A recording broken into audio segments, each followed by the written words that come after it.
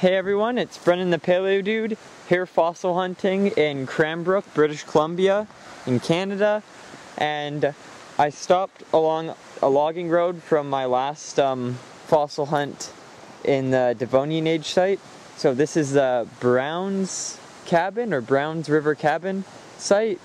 I can't remember the name of the trail but this site is Cambrian in age so that's 500 million years old and you can find trilobites here. So I've actually already hunted here. I'm packed up and ready to leave, but I forgot to grab a video.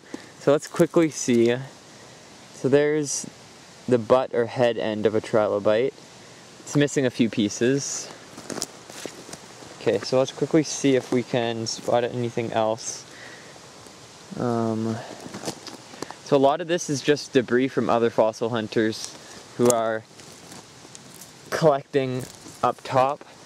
So you'd usually chip away there with a chisel and hammer and a lot of the stuff down here, there's actually some pretty good material, is just remnants from that. And I'm not sure if you can find other Cambrian material in this rock, such as sponges, but I see an awful lot of odd shapes that could or could not be sponges. So I keep them just in case. Um, I know a few trilobite species have been pulled out of this site. Uh, there's a few people that frequent it and find a lot of cool stuff. Let's see if we can find one more trilobite. I keep seeing these segments that look kind of like other arthropods, like maybe a. Um,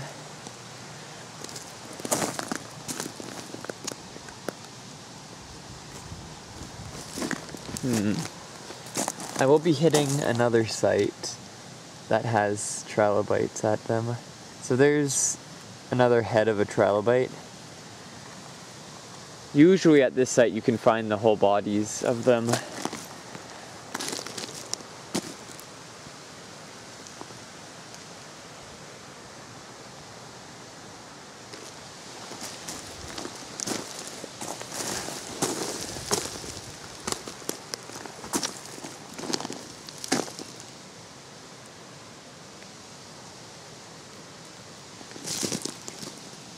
It's a weird conglomerate.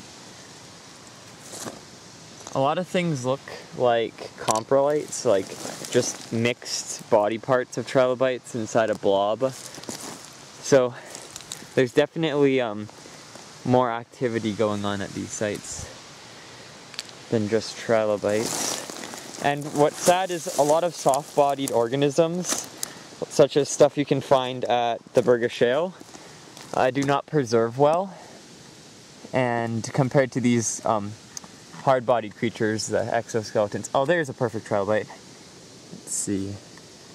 They preserve a lot better. Bingo, so there's the body of a trilobite.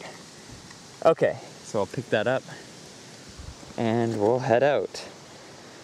So yeah, this is a pretty great site. I didn't get to spend a lot of time at it, but I did find some pretty neat specimens and some things some questionable fossils, just blobs, that I'll be looking at back at home under a microscope to see if I see any patterns or things that could point them out as sponges, worms, or other soft-bodied creatures.